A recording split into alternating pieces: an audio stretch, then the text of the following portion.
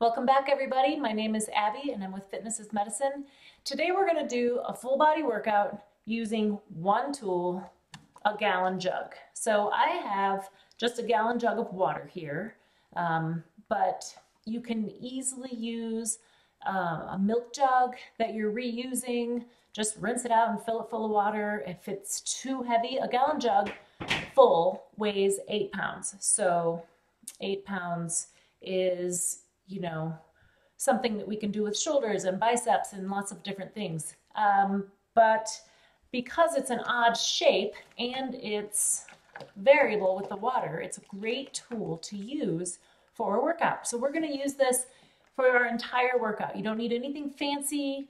Um, if you can't find a gallon jug sitting around your house, that's fine. You can obviously use a medicine ball or a dumbbell, but I kind of like the variability of the water and the fact that you have to hang on to it differently than a good handle on a dumbbell because a lot of things that we do in life require, you know, a different grip and a different variability. So that being said, make sure you start with a warm up before you do this. So if you haven't warmed up, press pause, go for a little walk, climb up and down your stairs a few times, get your heart rate up warm up your muscles, and then find a gallon jug and let's get working. Okay, we're gonna start with a squat today. So many times I do this with a kettlebell in my gym, but we're gonna just hold it on the ends like this. So you can kind of hold the handle or hold the ends, whatever works for you.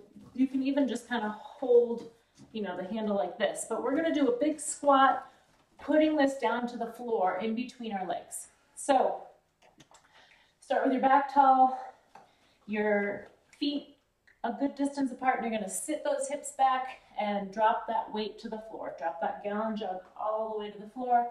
Try to keep your chest up high, looking across the room. And remember, you really wanna sit those hips back like you're gonna sit down into a chair. Keeping those knees over your ankles. And similarly, keeping your knees straight and not letting them collapse. But since you're going in between your knees, they can't really collapse anyway. So this is a great exercise to help keep you in a good posture and a good alignment. Don't drop over like this. Sit those hips back. Keep your chest up high. Squeeze your glutes as you come up. Let's do three more.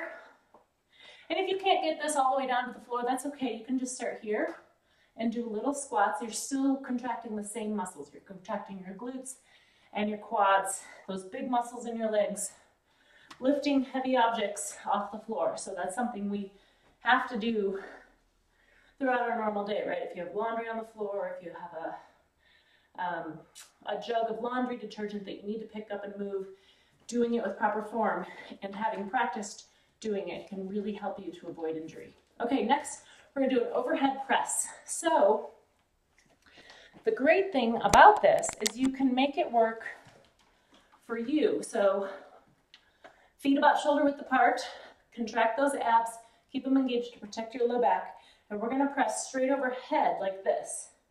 However, if this doesn't feel very challenging to you, you can grab it with one hand and press up overhead, and this will take, the only thing different here is it'll take a little bit longer, but it gives you the weight that you need if just eight pounds between your hands isn't enough. And doing things single-sided can be really good to um, contract your core and all of your stabilizing muscles to stay stable while you press one overhead. If pressing just with, and it's, it's a different kind of handle, right? So you're having to hang on to it a little bit differently. The liquid is kind of challenging you and moving around.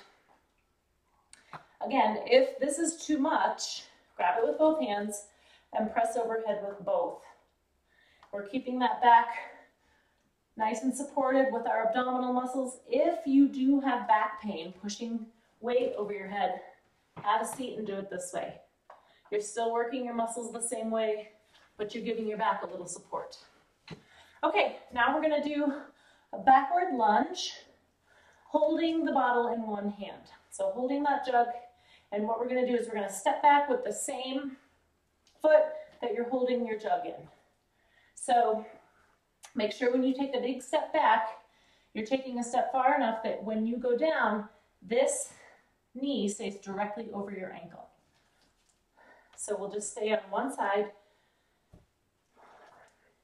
Again, if you um, need to stand next to a counter or something for some balance, also, if that's too much, you can step back and just do a little lunge. You don't have to go all the way down to the floor.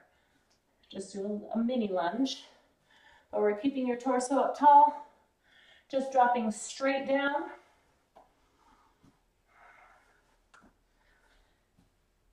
Three more. Nine and 10.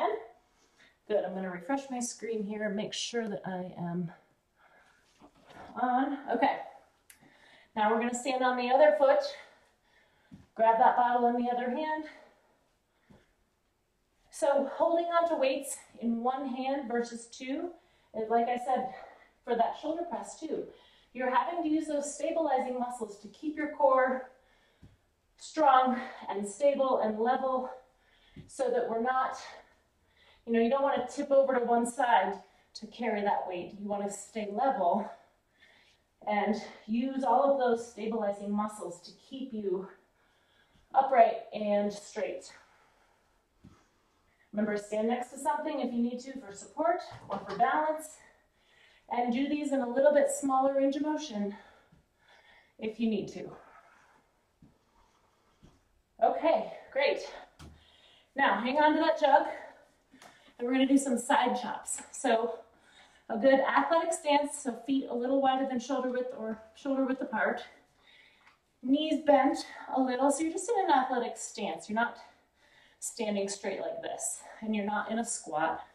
Just a little bit like, you know, you're gonna get ready to move. So hold that gallon jug right here at your chest. We're gonna chop out to the side. Just like you're gonna throw it.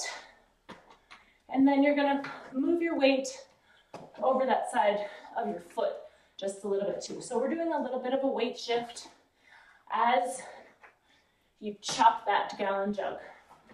So we're getting some explosive movement here, working those arms a little bit differently. Just like you're gonna throw it, you really wanna make it slosh, make some noise like a washing machine.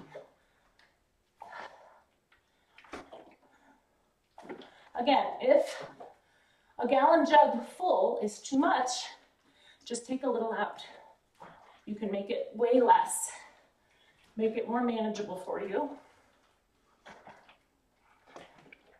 If it doesn't feel like enough weight, do a few more repetitions. Do all of this through three or four times. Okay, next we're gonna do some single leg stance bicep curls. So stand on one foot, hold the weight in the other foot, or the other arm, the opposite arm, and we're gonna do some bicep curls. So notice you're having to use that core to stay stable, this is a big balancing challenge because you've got one weight in one arm and you're moving it up and down. So you're challenging that balance while you're doing those biceps curls. Do it next to a counter if you need to for that extra support, but try not to hang on if you can't. So you're really challenging that balance and trying to keep those hips level. So you don't want to be standing and letting your weight go into that hip that you're standing on. Similarly, you don't want to be standing like this and trying to curl because it's going to be really hard to do that bicep curl. Try to keep everything stable even though you're just standing on that one leg. Okay, now we're going to switch. So stand on that other foot. Slowly up and down. Again, if this is too much weight for one arm bicep curl, you can do two and still stand on one leg and get that balance challenge. Or you can use a little bit less weight, you know, pour a little liquid out. Keep that shoulder, keep those shoulders level, keep your hips level, really work hard. This is working your glutes in addition to this entire leg that's having to stabilize you in this position. Okay, so the last one we're going to lower down to the floor and do some Russian twists. So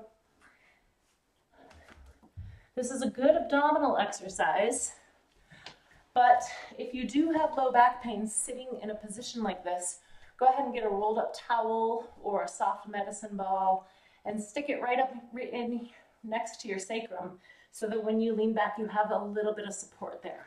So knees bent, heels on the floor, your legs are relaxed, hold that jug right here at your chest and we're gonna twist and lower it to the side on either side if this feels easy, try leaning back a little bit and straightening out your knees just a little. You don't want to have them straight, but a little bit, just a little bit of a bend.